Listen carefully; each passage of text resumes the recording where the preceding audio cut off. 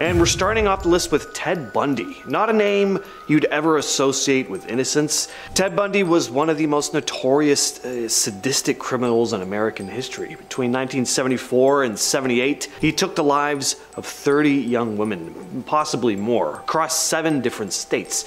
He'd lure his victims using his charismatic personality, taking them to a secluded location before attacking and restraining them, loading them into his car, and taking them away, never to be seen again. Pure evil can often look charming and innocent on the outside, but in Bundy's case, it goes a step further. Bundy actually worked on a hotline that helped prevent people from taking their own lives. Yeah, he was one of the folks taking those calls. Pretty noble work. On the outside, you'd look at someone like that and be like, wow, you're a fantastic person, convincing people to go on living, that it's worth having them here. Incredibly ironic that Bundy spent time talking to people on the phone convincing them to keep themselves alive when in his own time he'd ignore his victims' pleas to stay alive. Completely bonkers. If you are liking our channel so far, then don't forget to, uh, you know, leave your comments and thoughts below. I like uh, hearing what you guys have to say. At number nine, we have Jim Jones. Jim Jones was one of the most notorious cult leaders in history, responsible for convincing 918 people to take their own lives, and actually a significant portion of those people were forced to do it. He was a charismatic leader who gathered a very large following, but he started showing uh, his dark side, turning what he originally sold as this peaceful, quote unquote, uh, socialist paradise into a full on dictatorship. People couldn't even leave the settlement, and he surrounded the place with armed soldiers. Yeah, very democratic. And this all culminated in the aforementioned Jonestown Massacre. Before all this madness though, Jim Jones was known as an outspoken activist. He even worked as the director of the Human Rights Commission in Indianapolis. Depending on people's political views, he would have either looked like a menace or a hero, but I don't think anyone would have predicted things to go the way they did. At least not uh, early on, anyway. Next on the list we have Dennis Rader. This guy was a Boy Scout leader, he was a member member of the Lutheran Church, actually the president of the church council. On the outside, he was a dedicated family man, an upstanding member of the Wichita, Kansas community. He was also a despicable monster. Between 1974 and 91, he took the lives of at least 10 people, possibly more, and he loved what he did so much that he actually gave himself his own nickname, BTK. Just give that a quick Google to find out what it stands for not pretty. It's people like this that really test my faith in uh, humanity. Gaining everyone's trust having this outward image of being a good, decent human being, when really it's just a complete facade. It's it's also cases like this that make me roll my eyes whenever someone goes, oh, but he could he could never do that. He's not like that. Well, he can, and he did. Finding despicable people with an innocent facade was not difficult. It would have uh, been much harder to form a list of evil people who were always suspected of being so. Number seven, Dr. Harold Shipman. We put our trust into our doctors, helping to keep us in good health and providing care and reassurance in the worst of times. Doctors are often thought of not just as good people, but great people highly respected and highly appreciated, most of the time anyway. But reality goes to show that no matter how green and majestic a field is, there's always a bad apple somewhere in there. Dr. Harold Shipman was responsible for the deaths of around 218 patients between 1972 and 1998, and this wasn't due to negligence. These deaths were carried out on purpose, earning him the nickname Dr. Death. He mainly targeted elderly female patients, administering lethal doses of diamorphine and writing off their deaths as old age or falsifying their medical records to show that they had been in poor health when in reality they perfectly fine when they came in, a fellow doctor, Dr. Linda Reynolds, uh, started becoming suspicious of Shipman as he had a high number of patients dying off while in his care. He was arrested in 1998 and convicted for the deaths of 15 patients. He hanged himself in his cell in 2004. Next on the list is John Wayne Gacy. John Wayne Gacy committed heinous crimes while concealing his dark side behind an innocent facade. Gacy was, an, uh, was active in his community, often participating in local events and children's parties as a clown. Now, clowns are often associated with horror nowadays, partially thanks to this creep. Uh, but back then, the whole maniacal clown thing wasn't really a thing, as much anyway. On the surface, Gacy appeared to be friendly and charismatic. He was involved in charitable activities and was well liked by his neighbors, but as we all know, Gacy was actually a predator. Gacy would restrain his victims and have his way with them before finally asphyxiating them. He buried some of his victims beneath his house, discarded others nearby rivers. In 1978, Gacy's crimes were finally exposed when the disappearance of Robert Piest led police to investigate Gacy. They, there they discovered evidence of his gruesome acts, including personal belongings of some of his missing uh, victims and decomposing bodies beneath his house. Gacy was arrested, tried, and sentenced to death in 1980. And in our number five spot is Charles Cullen. Once again, another man in the medical field who betrayed the trust of his patients. Cullen worked as a nurse in multiple hospitals across New Jersey. Over a span of 16 years, from 1987 to 2003, he caused the deaths of a minimum of 40 patients. He would administer lethal doses of medications like insulin to his victims. He deliberately targeted elderly, sick, or vulnerable patients. His motivations still somewhat murky, leading to various speculations. Some believe his actions were driven by a desire for control, others suggest a warped sense of mercy, with Cullen claiming he was sparing his victims from further suffering. Cullen's malevolent spree went unnoticed for years until a vigilant coworker observed some of his suspicious behavior and authorities were alerted, leading to his arrest in 2003. In 2006, Cullen was brought to justice and sentenced to 11 consecutive life terms in prison.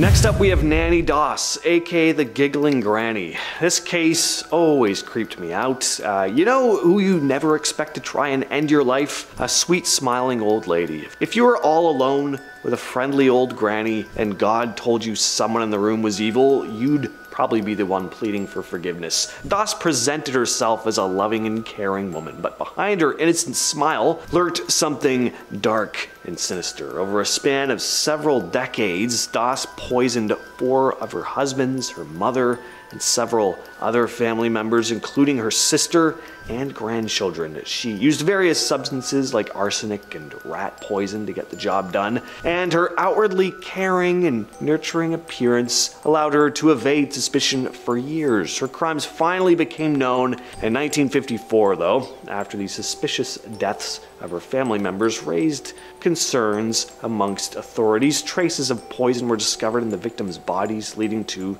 Doss's arrest. In 1955, Nanny Doss pleaded guilty to the unaliving of her fifth husband and was sentenced to life in prison. Later in 63, she confessed to her other crimes, providing all the details about her methods and motives.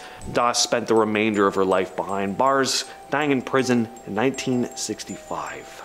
All right, you'd never expect to die at the hands of your grandmother, so the same can probably be said about the very woman who gave birth to you. Next up, we have Mary Beth Tinning. Mary Beth Tinning, born on September 11, 1942, was responsible for the deaths of several of her own offspring who seemed to die under suspicious circumstances. Tinning would explain the deaths as natural or accidental, deflecting suspicion while continuing to appear as a loving caring mother. The suspicions surrounding Tinning uh, intensified after numerous family members died unexpectedly. In 85, Tinning's crimes finally came to an end when her daughter Tammy Lynn died under dubious circumstances. She was convicted for the death of Tammy Lynn, but never officially for the deaths of eight others. Uh, she was eventually released on parole in 2018. Javed Iqbal.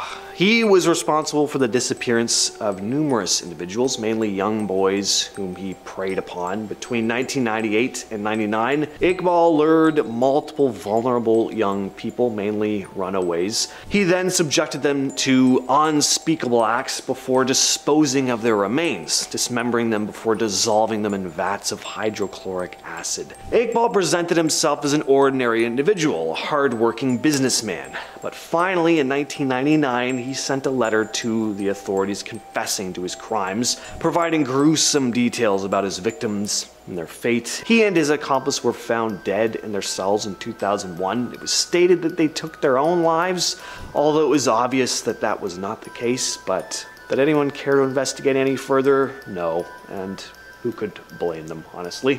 Finally, we have Christopher Lee Watts. Not only is this guy a complete and utter monster, he's also incredibly stupid. Uh, Chris Watts seemed on the outside to be a loving father and husband. His neighbors saw him as unassuming, quiet, uh, decent family man. And what makes this case extra disturbing is that there's plenty of footage from before his heinous crime took place that shows him with his daughters seems to love them deeply. He just looks like a happy father. It's almost impossible to imagine him doing what he did when you watch that footage. If you don't know the story, Chris Watts uh, started having an affair with a woman named Nichol Kessinger uh, and wanting to start a new life with her, Chris decided to take the life of his wife and his two daughters, claiming they had disappeared, with his wife Shannon having left her wedding ring behind.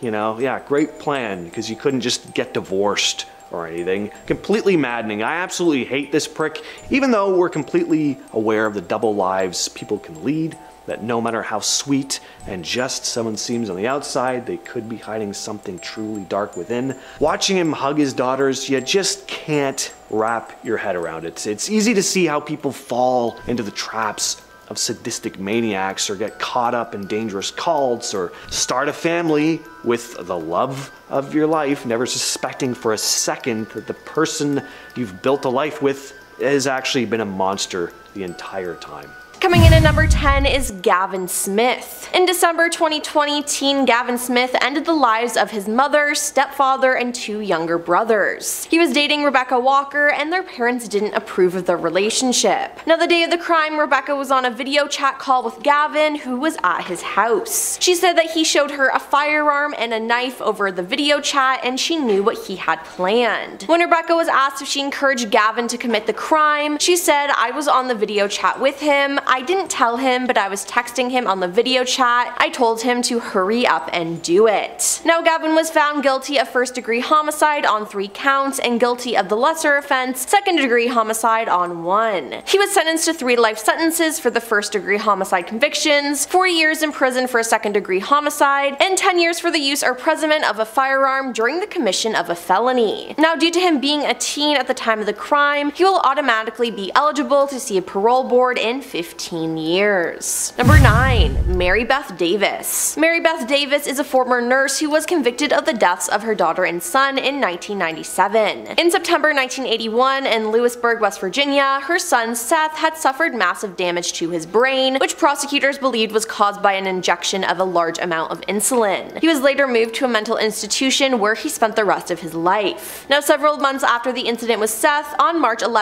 1982, her daughter Tegan died of a caffeine pill overdose. Dr. Ann Hooper, who performed the autopsy on the girl, found hundreds of capsules inside the digestive tract. In 1997, Mary Beth was put on trial for the death of Tegan and injury to Seth. It was reported that prosecutors believed that she suffered from Munchausen syndrome by proxy. Mary Beth received a life sentence without the possibility of parole, and Seth Davis then died on October 10, 2002 at the age of 21, and his death was recorded as a homicide. Now after signing a plea deal and giving a one-word confession in 2000 2007, Mary Beth was released from prison. Number 8. Sheila Eddy and Rachel Shoaf Skylar Neese was a teenager who disappeared from her home in Star City, West Virginia around midnight on July 6, 2012. She was initially considered by law enforcement authorities to be a runaway, and an Amber Alert was not immediately issued in connection with her disappearance. Now the break in the case came when Rachel, Skylar's best friend, admitted to plotting with Sheila to end Skylar's life. Now the motivation Rachel gave for the death was they didn't like her and they didn't want to be friends with her anymore. David Neese stated that these two girls were among his daughter's best friends and that Sheila had even helped the family by distributing missing person flyers. Now after her confession, Rachel led investigators to Skylar's body. Skylar's body was found less than 30 miles away from her home. Rachel pleaded guilty to second degree homicide on May 1st, 2013 and was sentenced to 30 years in prison with eligibility for parole after 10 years. Sheila pleaded guilty to first degree homicide on January 24th 2014, and was sentenced to life in prison with eligibility for parole after 15 years. Number 7. Jody Hunt On December 1st, 2014, Jody Hunt snapped and ended the lives of four people in West Virginia. He wrote a lengthy Facebook post about how brokenhearted he was just hours before the shootings. He said, I am deeply hurt by the events that lead up to this day. I did not choose to have the love of my life go behind my back and sleep with several guys. He adds, you will not hurt me anymore, and his rant goes on as he thanks Lisa's family. In conclusion, he begs for someone to take good care of his dogs. Jody, the owner of a towing company, ended the lives of his partner, his business rival, his ex-girlfriend, and the woman's new boyfriend. Jody was then found dead of a self-inflicted gunshot wound in his car along US Route 19. Now despite his death, West Virginia State Police Lieutenant Michael Baylous told the Associated Press that detectives had to sit down and piece all those puzzle pieces together and find out how all of this happened. Number 6. James Childers on June 1st, 2009, a packet containing letters and an audio tape confession from James Childers was delivered to the Clarksburg police station, most of which consisted of incoherent ramblings, but also had him admitting to committing five deaths and four arsons that had occurred in the last few years. He did not express remorse for what he had done and said that his misanthropic views were the motive, admitting an extensive resentment, paranoia, distrust, and anger directed towards everybody around him, including relatives. In the tape, James claimed that he had buried four of the victims on the family farm in Braxton County and another discarded in Barbour County. A few hours after listening to the tapes, officers were dispatched to the locations and to their horror, they found two skeletal female corpses. Shortly after these discoveries, police issued an arrest warrant for James, who was last seen at the Townhouse Motel in Clarksburg. The following day, numerous officers had surrounded the motel, but upon learning this, James shot himself in the head. After confirming his death, investigators, together with dog handlers, combed through the farm farm, where according to James's testimony, there were at least three other people buried, but no further remains were found. Number 5. Bobby Joe Long Bobby Joe Long would use newspaper ads to find vulnerable women, and if the women were alone when he arrived at their home, he would take advantage and rob them. He took advantage and ended the lives of at least 10 women, though prosecutors believed him to be connected to as many as 50 other crimes across the Tampa, Florida area. The first of his slayings happened in March 1984. The first body discovered by the police were the remains of Nguyen Thai Long, who had recently quit her job as an exotic dancer and planned to go back to school. Bobby lured her into his car by offering her a ride. He drove her to a back road where he took advantage of her and then strangled her to death. Now one of his other victims, Lisa McVey, escaped and it wasn't until she saw a forensic drawing of him on TV that she recognized him as her kidnapper. She relayed this information to the officer handling her case and Bobby was arrested 12 days later. After a lengthy trial and multiple appeal attempts, Bobby was sentenced to death and executed by lethal injection at Florida State Prison on May 23, 2019, and he had no final words. Number 4. Reta Mays In June 2015, Reta Mays began working as a nursing assistant at the Louis A. Johnson Veterans Medical Center in Clarksburg, West Virginia, with no certification or license to care for patients. She started to work overnight shifts on Ward 3A of the hospital's medical surgical unit, and elderly patients began suffering mysterious acute drops in their blood sugar sugar level, which resulted in many deaths. Now, the hospital began an internal investigation of 11 deaths, and she was fired from the hospital in June 2018, and the investigation was turned over to the Inspector General for the United States Department of Veterans Affairs and the Federal Bureau of Investigation. Now, the investigation into the deaths lasted over two years, and Rutter remained free. She was questioned three times during the course of the investigation, and each time she denied any involvement in the deaths. Then in July 2020, she was then arrested and charged with the death deaths of eight individuals. The charges were later reduced to seven second degree homicides and one count of intent to commit homicide. On May 11, 2021, she was sentenced to seven consecutive life sentences plus 20 years. Now, in addition to her sentence, she was ordered to pay $172,624.96 to the victim's families, the VA hospital, Medicare, and insurance companies. Number 3. Krista Pike Krista Pike is the youngest female ever to be sentenced to death in the the US when she was just 18 years old. Krista became jealous of her classmate, university student Colleen Slemmer, who she thought was trying to steal her boyfriend from her. Upon a meetup at a secluded location, Colleen was attacked by Krista while her friend acted as lookout. According to later court testimony, for the next 30 minutes, Colleen was taunted, beaten, and slashed, and a pentagram was carved into her chest. Krista then hit Colleen's skull with a large chunk of asphalt, ending her life. Now, Krista kept a piece of her skull and began to show off the piece of the skull around the school, and within 36 hours, the group was arrested. Now, soon after her arrest, Krista confessed to police, but insisted that they were merely trying to scare her and it got out of control. Krista was charged with first degree homicide and conspiracy to commit homicide. On March 22, 1996, after only a few hours of deliberation, she was found guilty on both counts. On March 30th, she was sentenced to death by electrocution for the death charge and 25 years in prison for the conspiracy charge.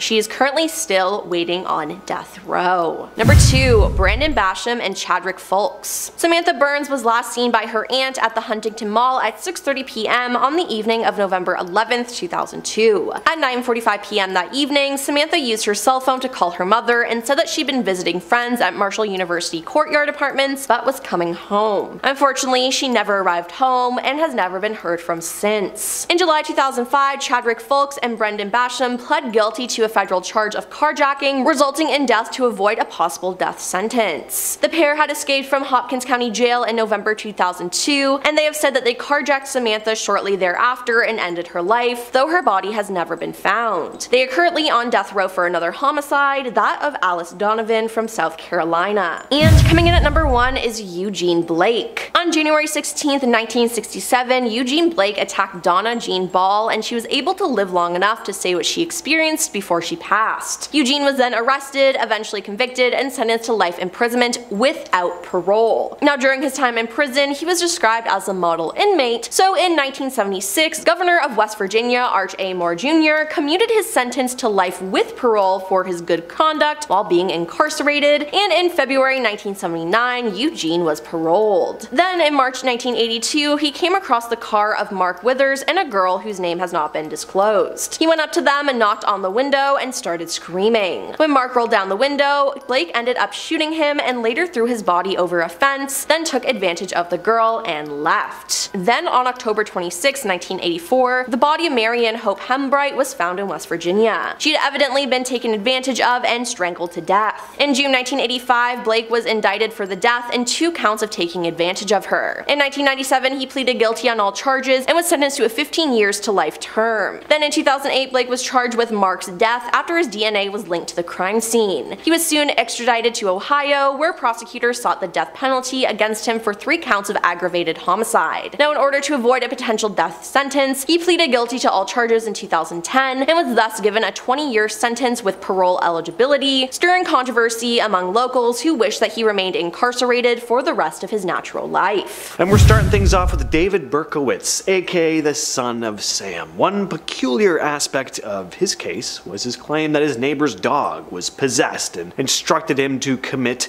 violent acts. In the mid-1970s, Berkowitz carried out a string of shootings. He was eventually arrested in 1977, and during the investigation, he admitted to the shootings and claimed that his neighbor's dog, a black Labrador retriever named Harvey, was possessed by a demon. According to Berkowitz, Harvey commanded him to take the lives of people. Berkowitz later asserted that he had uh, started the fires in the Bronx, attributing this act to the dog's influence influence as well. In 1978, Berkowitz pleaded guilty to the crimes and was sentenced to six consecutive life sentences in prison. He later renounced his satanic beliefs and became involved in prison ministry, offering counseling and support to other inmates. And at number 9, we have Sean Sellers. He was a self-proclaimed Satanist who claimed to be possessed by a demon named Ezurate. In 1985, at the age of 16, Sellers took the lives of his parents, Vonda and Paul, in their Oklahoma home. He later confessed to these acts, as well as having shot a convenience store clerk a year prior who refused to sell him beer. Sellers stated that his involvement in Satanism influenced his actions. According to Sellers, he believed he was possessed by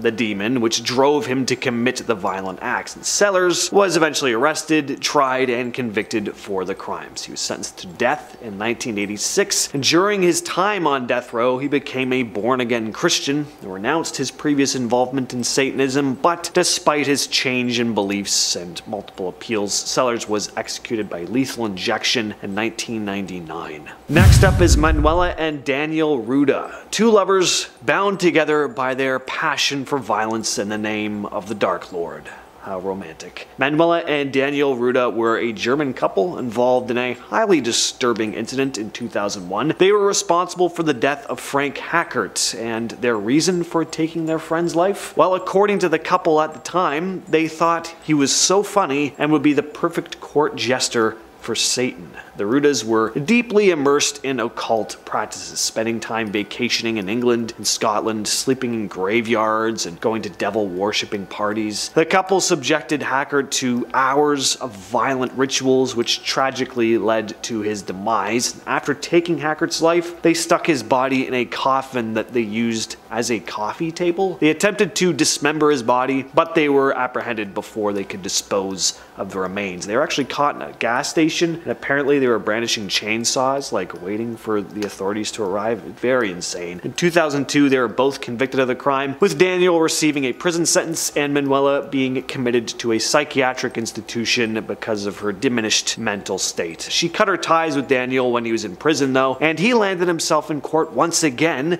years later when he apparently attempted to hire a hitman to take her out. True love at its finest. As insane as all this is, using a coffin for a coffee table, that is actually an awesome idea. I am taking note of that. Nikolai Ogolobyak. This next case happened in 2008 in Russia. It's pretty disturbing. Nikolai was a former choir boy turned Satanist and led a small cult of Satan worshippers. He and a few of his underlings lured four teenagers in the local goth scene into the woods about 300 miles northeast of Moscow, where they forced them to drink alcohol before stabbing them 666 times each. After that, ate parts of their victims' bodies. The group was arrested when various body parts were found in Nikolai's apartment complex. One member was quoted saying, Satan will help me avoid responsibility. I made many sacrifices to him. Another said, I tried to turn to God, but it didn't bring me any money. I prayed to Satan and things improved. It didn't improve that much because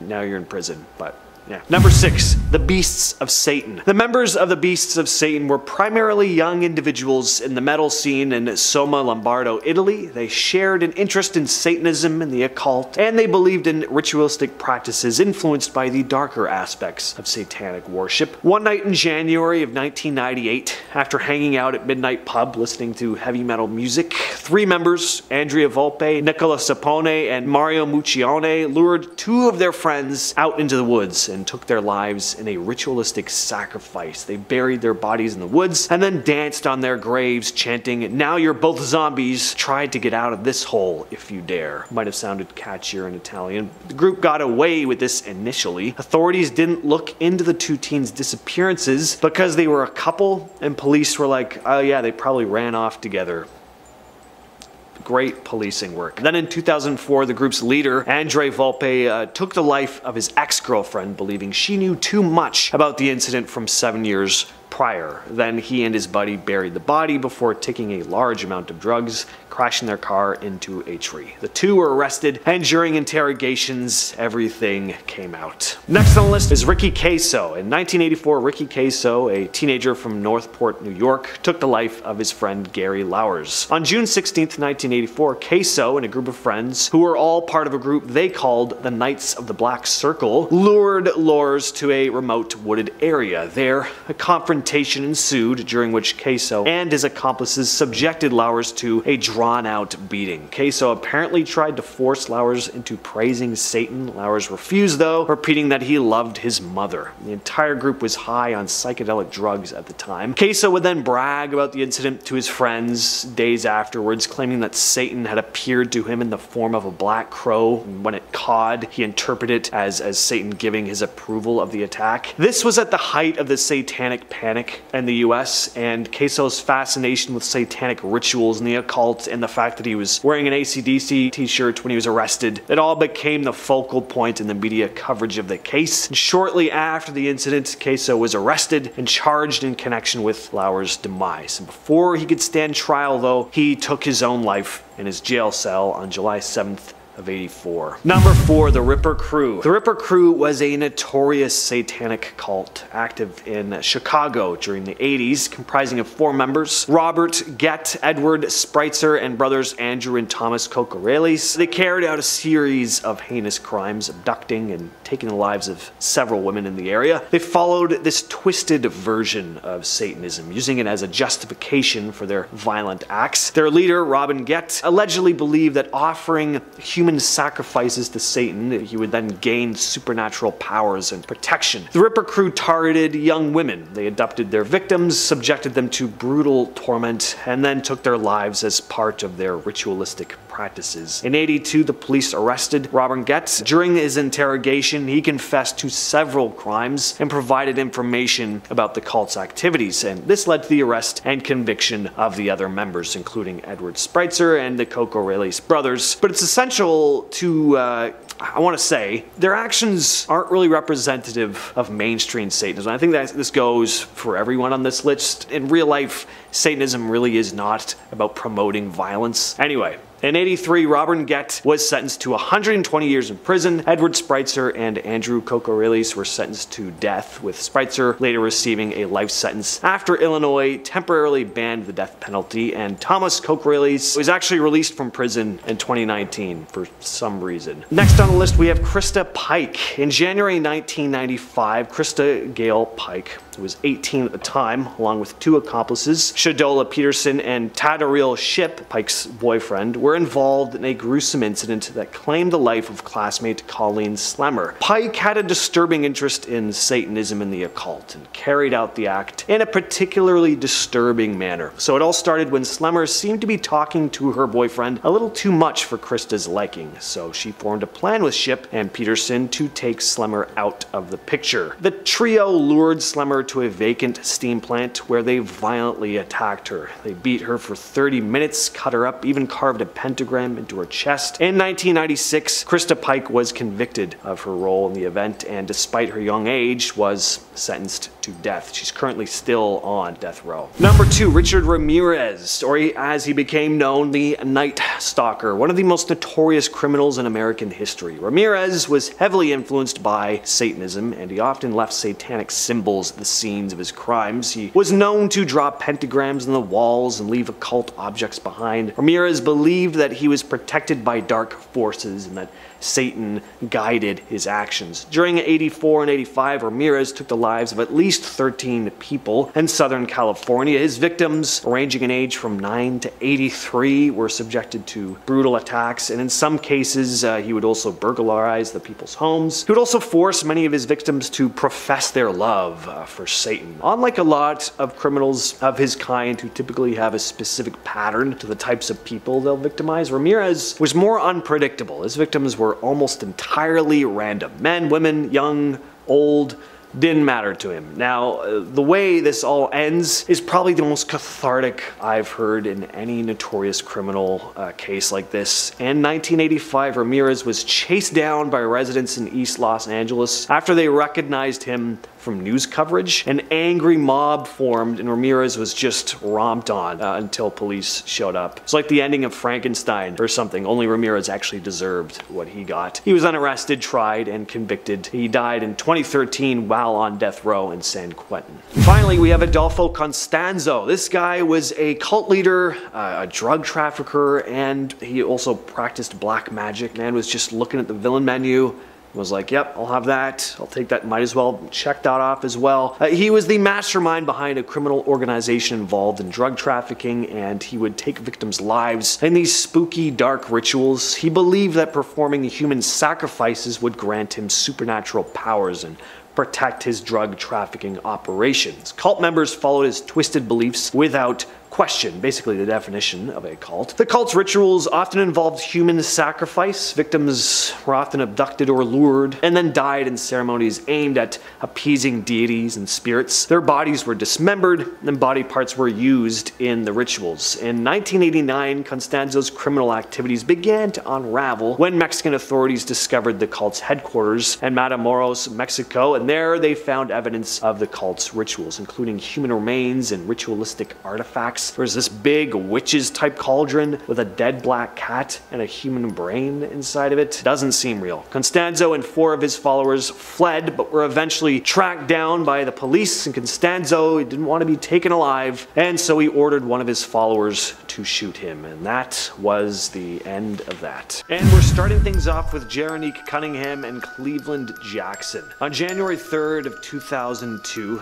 Jeronique Cunningham and his half-brother Cleveland Jackson, committed a violent crime in Lima, Ohio. They took the lives of three-year-old Jala Grant and 17-year-old Lanisha Williams. The victims, along with six others, were present at the house of a man targeted by Cunningham and Jackson for a robbery involving drugs and money. Following the robbery, Cunningham and Jackson opened fire on everyone inside the house. Tragically, Jala died while her father held her in his arms. Cunningham and Jackson also attempted to take the lives of the survivors, each of whom sustained gunshot injuries during the incident. Both Cunningham and Jackson were convicted, with Jackson receiving a death sentence. Cunningham is currently serving a life sentence. Next on the list is George Wagner IV. In April of 2016 in Pike County, Ohio, a gruesome incident took place, now known as the Pike County Massacre. Eight members of the Rhoden family were tragically taken from life in four separate homes. The victims included seven adults and a 16 year old, all shot to death. In November of 2018, authorities arrested George Wagner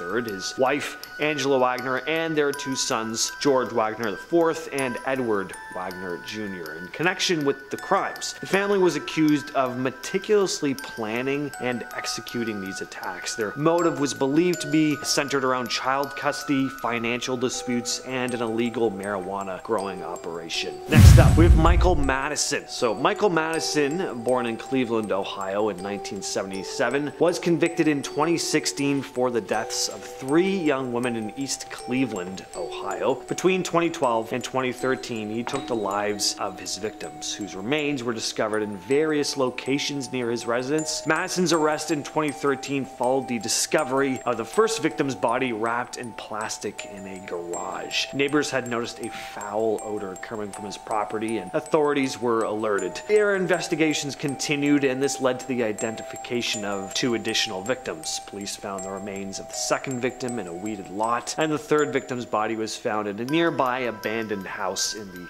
basement. During his trial, Madison actually smirked causing a father of one of the victims to lunge at him in anger. Luckily, that man was released without charges. Madison was found guilty of multiple charges, including aggravated murder and kidnapping. In 2016, he was sentenced to death for his crimes. Next up on the list is Donald Hoffman. Donald Hoffman was convicted of taking the lives of four men over the Labor Day weekend in 2015. He was sentenced to four consecutive life terms. The victims, Freeland Hensley, 67, Gerald Smith, 65, Billy Jack Chapman, 55, and Daryl Lewis, 65, were residents of Bucyrus, Ohio. Hoffman admitted to his crimes, stating he committed the acts to fund his drug addiction. And during the slayings, Hoffman used various methods of violence, he beat Hensley with a frying pan, strangled Smith with an electrical cord, struck Smith in the head with a bottle, strangled Lewis with shoelaces, and attacked Chapman with a pry bar. Hoffman stole the victim's debit and credit cards, spending over $2,100 on drugs and cigarettes. Prosecutor revealed that Hoffman specifically targeted older men with health issues whom he knew personally. Number six, the Downtown Posse. During the Christmas season of 1992, the Downtown Posse posse, led by Marvelous Keene, embarked on a brutal crime spree in Dayton, Ohio. Their first victim was Joseph Wilkerson, a 34-year-old General Motors worker. The gang lured their way into his home where Wilkerson was shot. The gang then partied in his house for the next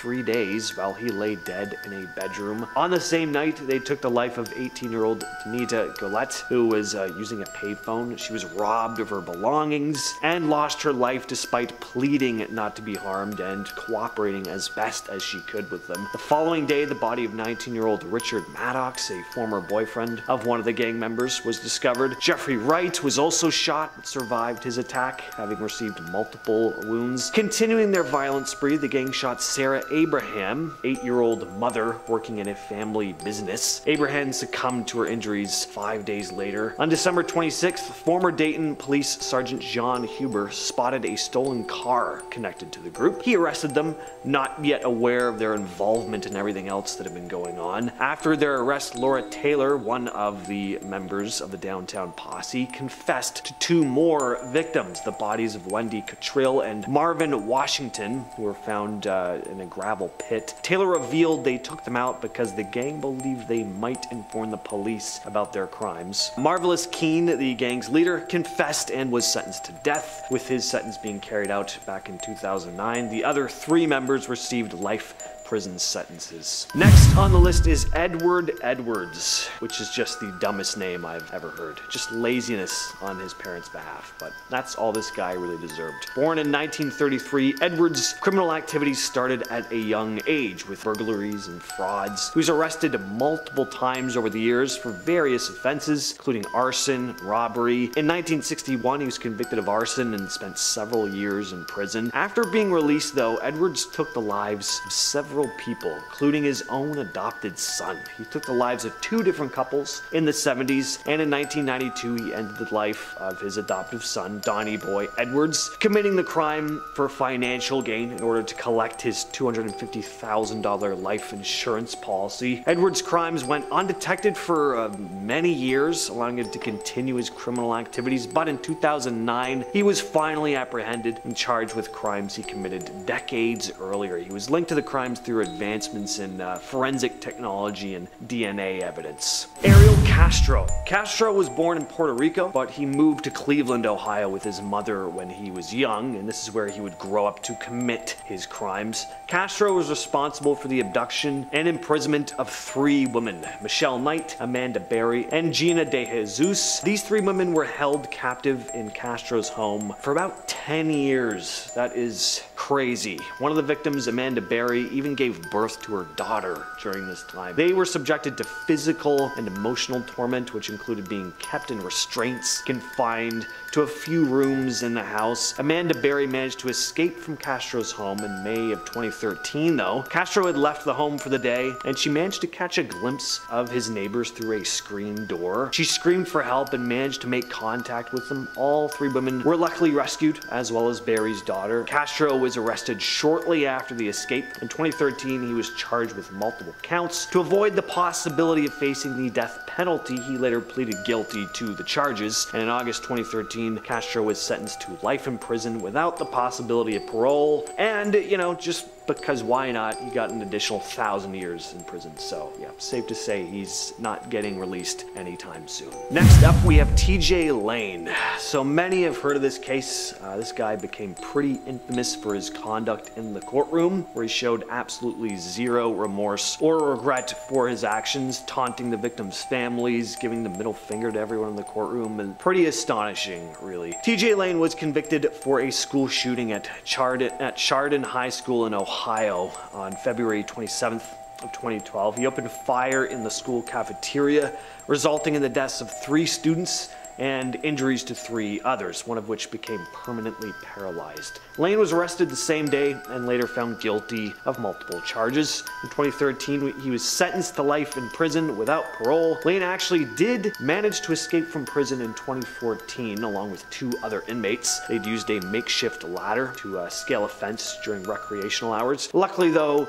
he was found later that night. He's now serving in a maximum security prison, the Southern Ohio Correctional Facility. Next up, we have Robert Berdella. Now, this guy died in 1992, so a return is highly unlikely, but he's got to be one of the worst criminals in Ohio's history, right up there with Dahmer, possibly even worse. He was born in Ohio in 1949, but his crimes were carried out in Kansas City between 1984 and 87. He was responsible for the deaths of at least six men. Berdella lured his victims, often vulnerable young men, to his home with promise of money or shelter, and once in his captivity, he subjected them to prolonged periods of sadistic torment. He would hold them in captivity captivity, sometimes for as long as six weeks at a time before disposing of them. His crime spree came to an end in 1988, though, when one of his victims managed to escape and alert the police. The bodies of his former victims were never found, unfortunately, but police did find journals and uh, Berdella had written chronicling his crimes, as well as photographs and personal belongings of the victims. Berdella was sentenced to life imprisonment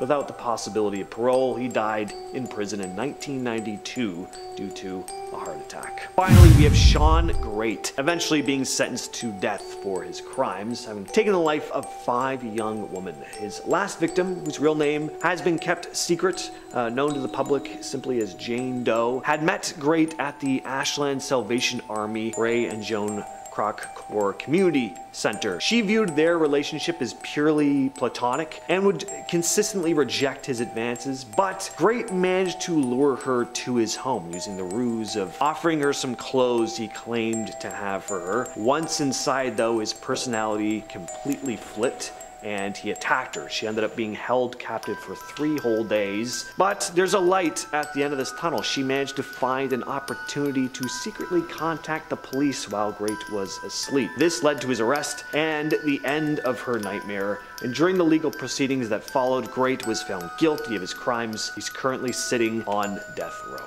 And we're starting out this list with Grigory Rasputin, born in 1869 in a small Siberian village. He grew up as a peasant. He was also a mystic, and grew up to become quite close with the Russian royal family after seeming, seemingly healed Alexei Nikolaevich, the son of Nicholas II and heir to the Russian throne.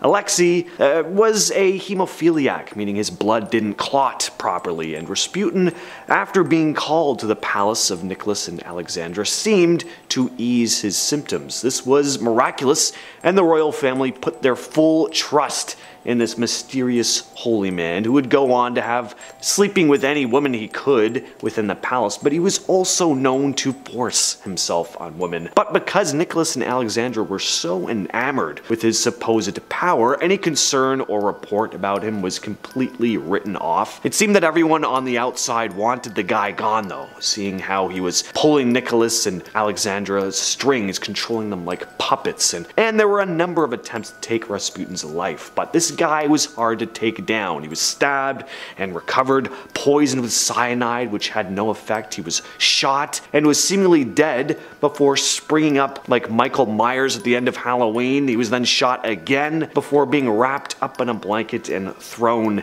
in a river where he finally drowned. Number 9, Gilles de Rais. Born in 1404, Gilles de Rais was a French nobleman and a respected military leader, but he had a secret life. He was responsible for viciously taking the lives of countless young ones and was said to be a practitioner of black magic and conducted occult rituals, leading many to believe that he possessed otherworldly abilities. This guy was an absolute monster. If you want to talk about true evil, this is it right here. His servants, mostly young men, very young men, and other young ones around his castles, started going missing, and rumors started to spread that Gilles de Rais was disposing of them, something that turned out to be true when witnesses began seeing servants disposing of bodies. Many were afraid to speak out against him, though, due to the immense gap in class that was present at the time. He was finally arrested in 1440, though, and under the threat of excruciating punishment, he admitted to his crimes, actually revealing that he would take the lives of his victims in these dark, occult like rituals. Next on the list, we have Elizabeth Bathory. Elizabeth Bathory, born August 7th, 1560, was a Hungarian noblewoman notorious for being one of the most prolific female serial killers in history. She's, she's often remembered as the Blood Countess because of her horrifying crimes. Bathory was accused of tormenting and taking the lives of numerous young females. Her methods included severe beatings, burning, and disfigurement. And what she's most famous for, though, was her belief that bathing in her victim's blood would preserve her youth. It's said that she may have taken the lives of hundreds in her quest for eternal beauty. Her actions eventually caught the attention of authorities. In 1610, she was arrested and her accomplices were put on trial, and the accounts from witnesses and survivors painted a very chilling picture of her cruelty. She was never officially tried in court, but was confined to a windowless room in her castle until her death in 1614. Number 7. Aleister Crowley. Crowley, born in 1875, was an English occultist and ceremonial magician, founded the religion of Thelema. He was a prominent and very controversial guy, especially at the time, known as the Great Beast 666. He was an occultist writer, and ceremonial magician, a man of many mysteries and oddities. Crowley, Crowley, was known for more than just his eccentric lifestyle, though. One of the big questions surrounding him is whether he actually had any mystical powers or was just really good at talking the talk. Crowley wasn't shy about bragging that he could communicate with supernatural beings. He claimed to have a direct line to a being named Aiwass, who supposedly dictated to him the Book of the Law, basically the Bible of Thelema. Then then there's the curious case of his rituals. Crowley was all about strange ceremonies, often involving weird symbols and chants, and even some bizarre uh, practices. As to whether he was evil, I mean, you know, some would definitely say he was, but uh, yeah, certainly not like most of the others on this list. Like this next guy, for example. And at number six, Thug Behram. Thug Behram, born in 1765, became infamous as the ruthless leader of the Thuggee cult in India during the 18th and 19th centuries. The Thuggee were a secret criminal society that specialized in robbery and murder, targeting un unsuspecting travelers. What made the thuggee particularly sinister was their method, was their method of operation. They would often befriend and gain the trust of their victims on the road, only then strangle them with a rumal, a, a cloth, in this kind of ritualistic fashion, allowing them to carry out their crimes discreetly. Behram was one of the most notorious thuggee leaders, believed to have taken the lives of hundreds. He actually admitted to witnessing 931 people die right in front of him, and that's not even counting the ones he had a direct hand in. Under his leadership, the thugs terrorized India for years with a well-organized network. It spanned the country. He was eventually captured and put to death in 1840. Next, we have H.H. H. Holmes. Holmes was born in 1861 in Gilmanton, New Hampshire. Although he was highly intelligent from a young age, he displayed all your classic disturbing signs early on. He would capture and torture animals, cutting into them and performing strange experiments. Holmes, whose real name was Herman Webster Mudgett, not quite as intimidating sounding, committed crimes that were as horrifying as they were calculated. He constructed this nightmarish castle in Chicago, specifically equipped with secret passageways and like soundproof rooms and gas chambers, which were all made to assist with his gruesome crimes. He would lure numerous victims, mostly young women, surprise, surprise, into his property, and once inside, they came face to face with unimaginable horrors, including excruciating torment, asphyxiation, and dissection. The exact number of his victims isn't 100% known, but it could be anywhere from just nine to over 200. I'm guessing it's somewhere in between. In 1896, he was finally convicted for his crimes and sentenced to death. Number four, Gilles Garnier. Here we have a real life werewolf case, at least the closest thing uh, possible. Uh, Gilles Garnier, aka the Hermit of Saint Benoît and the Werewolf of Dole, was a reclusive man born at some point in the mid 1500s in France. He lived in an isolated home just outside the town of Dole. His new wife moved out to the home with him, and it was at this point that something changed in Garnier. He had always hunted food for himself, but now having to provide for another person, it was difficult, and this started driving a wedge between him and his wife, and he started getting desperate. It was at this point that several young ones in the area started being found mauled to death with parts of their bodies having been eaten. Meaning this had to have been the work of some large animal, right? But it wasn't. It was Garnier. Garnier's crimes came to light when a group of traveling workers had spotted him eating the body of one of his victims in the dead of night. At first, they thought they were looking at a wolf. According to Garnier, he had been hunting one night when a ghostly figure came to him, telling him it would imbue him with the power to transform into a wolf, making it easy easier for him to hunt. Since that night, he had stalked and hunted a number of young people, most of which died as a result of his savage attacks. He was burnt at the stake in 1574, accused of lycanthropy and witchcraft. I don't know what it was with guys named Gills in uh, France back then, but uh, they didn't like young folks, apparently. Number three, Vlad the Impaler, the original vampire himself. Uh, if there's anyone in history that just feels like they stepped out of some portal from another dark dimension, it's this guy. Vlad was born in 1431. He was a tyrant renowned for his brutal methods of punishing enemies, often impaling them on long spikes. His reputation for cruelty gave rise to the legend that is Dracula, inspiring Bram Stoker's famous vampire novel. Alongside these gruesome acts, there are legends suggesting Vlad may have possessed otherworldly powers, tales that kind of hint at his ability to control the weather, summon dark forces, or even transform transform into a vampire-like creature. The line between fact and fiction often blurs with this guy. Some believe that his cruelty was more than human, that maybe he had something supernatural lurking inside him, some sort of dark entity from beyond. He just inspired this intense fear and awe in his time, and his brutality definitely unquestionable, but the idea of him being an actual vampire, most likely just legend, uh, but fun to imagine. And at number two, we have Jack the Ripper, a name everyone has heard before. One of the first cases uh, of the type of modern day serial killer we hear about all the time now, only this man was never identified. Jack the Ripper terrorized the Whitechapel district of London in 1888 and remains one of the most infamous figures in criminal history. Victims were taken out in the most gruesome ways possible. They looked like they had been mauled to death by a 500 pound brown bear.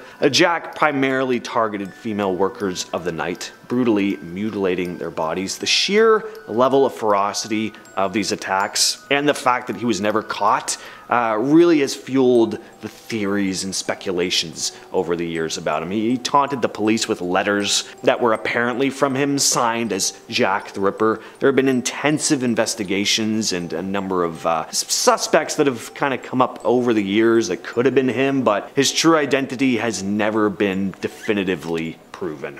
Finally, we have Heinrich Himmler. Heinrich Himmler was a high-ranking German official during World War II. He had a deep and disturbing fascination with the occult. He believed he could summon dark forces to help him shape a new world order and try to incorporate his beliefs into the ideology of the regime. He established a uh, research institute to explore ancient and supernatural phenomena. Under his direction, he conducted these expeditions to search for evidence of Aryan origins, looking into topics like ancient artifacts, astrology, folklore, and this interest extended to the dark and the occult, as Himmler believed that tapping into these mystical forces would help the German forces gain more power and control. He promoted pseudo scientific theories, obviously related to racial purity and mysticism, and saw the SS almost as this more modern day knightly kind of order. Uh, such a bizarre side of the Second World War. It feels like something out of Hellboy, but uh, this really was a thing. The German forces were really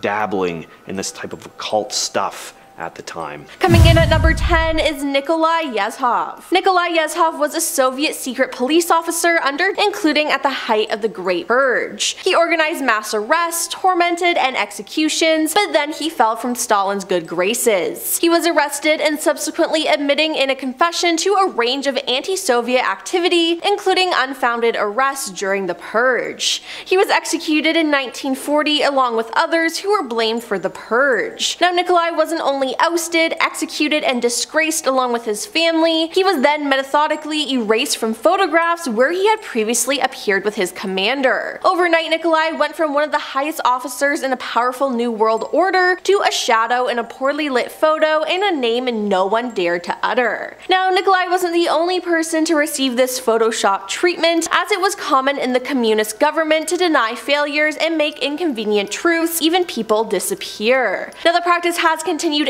current communist-led governments where rebellious leaders are removed by force and deleted from official documents. Coming in at number 9 is Delphine LaLaurie. Delphine LaLaurie was a sadistic serial slayer socialite who lived in New Orleans. On April 10, 1834, a fire broke out in her mansion's kitchen and firefighters found a 70-year-old black woman chained to the stove. Now she appeared to have started the fire in order to attract outside attention while Delphine was trying to save her furniture. Now the authorities were led by other slaves to the attic and they were shot. Disfigured and maimed slaves were chained to the walls or floors. Several had been subjects to medical experiments, most likely performed by her husband who was a doctor. One man appeared to be part of some bizarre change, a woman was trapped in a small cage with her limbs broken and reset to look like a crab, and another woman with arms and legs removed and patches of her flesh sliced off in a circular motion to resemble a caterpillar. There were claims that an elderly man had his face so beaten it was indistinguishable, and one woman had her back wounded to the point where her bones were visible. Some had their mouths sewn shut and starved to death, others had their hands sewn to different body parts, and most were found dead and the remaining that that were alive were begging to die to be released from the unbearable pain. Now LaLaurie and her husband fled by boat before she could be brought to justice, leaving the butler who also participated to face the wrath of a mob that had gathered outside. Number 8. Jiang Qing. Jiang Qing was a Chinese communist revolutionary, actress, and major political figure during the Cultural Revolution. She was the fourth wife of Mao Zedong, the chairman of the Communist Party and paramount leader of China. Now, Jiang was best known for playing a major role in the Cultural Revolution and forming the radical political alliance known as the Gang of Four. Through clever maneuvering, she managed to reach the highest position of power within the Communist Party, just short of being president. It is believed that she was the main driving force force behind China's Cultural Revolution, of which she was the deputy director. Now, during the Cultural Revolution, much economic activity was halted, and countless ancient buildings, artifacts, antiques, books, and paintings were destroyed by Red Guards. Millions of people in China reportedly had their human rights annulled during this time, and millions more were also forcibly displaced. Estimates of the death toll of civilians and Red Guards from various Western and Eastern sources are about 500,000 in the true years of chaos of 1966 to 19. 1969, but some estimate as high as 3 million deaths, with 36 million being prosecuted. Number seven, Jang Song-thaek. Jang Song-thaek was the uncle of the current dictator of North Korea, Kim Jong-un. He was more focused on following in the ways of his brother, Kim Jong-il, something that the new dictator didn't agree with. Now at the beginning of his rule, Kim Jong-un was still considered quite young for his political position, and some of his choices were questionable at best. Seeing that his uncle didn't agree with him, he had him tr tried by a special military tribunal and executed by a firing squad. Now after his execution, Kim ordered all media outlets within North Korea to remove any sort of record of him, and that included any sort of pictures or information from history books. Number 6. Peter Burnett Peter Burnett was an American politician who served as the first elected governor of California from December 20th, 1849 to January 9th, 1851. Now in 1848, he moved to California during the height of the California Gold Rush. He was appointed to serve on the Supreme Court of California, and even though he had enslaved two people to make California a slave state, instead pushing for a total exclusion of African Americans in California. Governor Peter signed into the law the so-called Act for the Government and Protection protection of Indians, which enabled the enslavement of native Californians and contributed to their genocide. He declared in an 1851 speech that a war of extermination will continue to be waged between the races until the Indian race becomes extinct must be expected. While we cannot anticipate the result, but with painful regret, the inevitable destiny of the race is beyond the power and wisdom of man to avert. Now efforts by federal negotiators to preserve some native land rights were fought by the administration of Peter, who favored the elimination of California's indigenous peoples. Now he also passed the Foreign Miners Act which taxed only Chinese and Mexicans, deliberately designed to drive them out of the gold fields. Now a wave of violence against them took place before and after. Number 5. H. H. Holmes H. H. Holmes was a con artist who liked to take the lives of people. Until his execution in 1896, he chose a career of crime including insurance fraud, three to four illegal marriages, horse theft, and ending the lives of many. He claimed to have ended the lives of 27 people before he was arrested, tried, tried and executed. He constructed a hotel of horrors, later known as the Murder Castle, to target guests visiting the Windy City during the 1893 World Fair. Now the building was equipped with soundproof rooms and had gas lines that could be used to asphyxiate guests. It also had trap doors and a secret series of tunnels that Holmes could use to, to spirit away their bodies, which he was believed to have dissected and sold. Now in the basement were a dissecting table, stretching rack, and industrial oven. On May 7th, 1896, Holmes was executed, and in 2017, amid allegations that Holmes had in fact escaped execution, his body was exhumed for testing. Due to his coffin being contained in cement, his body was found not to have decomposed normally. His clothes were almost perfectly preserved, and his mustache was found to be intact. Now, his body was positively identified by his teeth as being that of Holmes, and he was then reburied. Number 4. Ante Pavelic Ante Pavelic was a Croatian politician who who founded and headed the fascist ultranationalist organization known as the Ustashi in 1929 and served as a dictator of the independent state of Croatia, also known as the NDH. Ante and the Ustashi prosecuted many racial minorities and political opponents in the NDH during the war, including Serbians, Jewish and Roma people, and anti-fascists, becoming one of the key figures side of Serbians. At the behest of the Germans, senior Ustaše Slavo Kosmic declared the NDH's establishment on April 10, 1941 in the name of Ante. Ante then returned from Italy and took control of the puppet government. He created a political system similar to that of fascist Italy and Germany. After taking control, Ante imposed largely anti-Serbian and anti-Semitic policies that resulted in the deaths of over 100,000 Serbians and Jewish people in concentration and extermination camps in the NDH, which resulted resulted in the torment and deaths of several hundred thousand Serbians, along with tens of thousands of Roma and Jewish people. Now, following the surrender of Germany in May 1945, he fled, and ironically, on April 10, 1957, a Serbian hotel owner attempted to end his life by shooting him. Now initially surviving, the resulting injuries would lead to his death on December 28, 1959. Number 3. General Yahya Khan General Yahya Khan was a Pakistani military officer who served as the third president of Pakistan from 1969 to 1971. Now he also served as the commander-in-chief of the Pakistan Army from 1966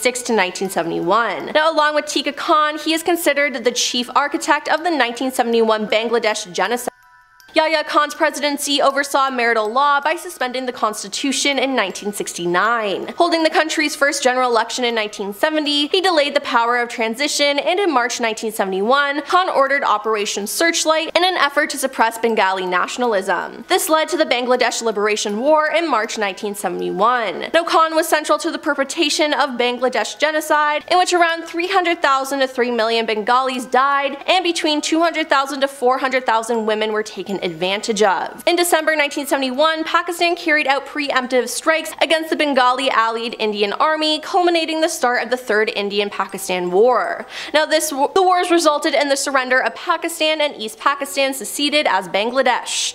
After Pakistan's surrender, Khan resigned from the military command and transferred the presidency. Khan's short regime is regarded as the leading cause of the breakup of Pakistan. He is viewed negatively in both Bangladesh, being considered the chief architect of genocide and in Pakistan. Number two, Pol Pot. Pol Pot was a Cambodian revolutionary, dictator, and politician who ruled Cambodia as the prime minister of Democrat Kampuchea between 1976 and 1979. He was a leading member of Cambodia's communist movement, the Khmer Rouge, from 1963 to 1997 and served as general secretary of the Communist Party of Kampuchea from 1963 to 1981. Now his administration converted Cambodia into a one-party communist state and perpetrated the Cambodian genocide Pot planned to turn Cambodia into a simple, agrarian, and socialist society. He forced the urban population, such as teachers, doctors, and other professionals, into the countryside, onto collective farms, and executed anyone who complained or broke rules by a pickaxe. There was more than 150 detention centers for any dissidents. S21, the most notorious one, had 7 survivors out of 20,000. Others were taken to fields, executed, and buried in mass graves. Now he also outlawed religion, most reading, money, anything anything private and strictly govern sexual relations, vocabulary, and clothing. Out of a country of not even 10 million people, it's estimated up to 3 million people died in just three years. Number 1. Queen Ranavalona Queen Ranavalona was known as the Mad Queen of Madagascar, and I feel like that explains a lot.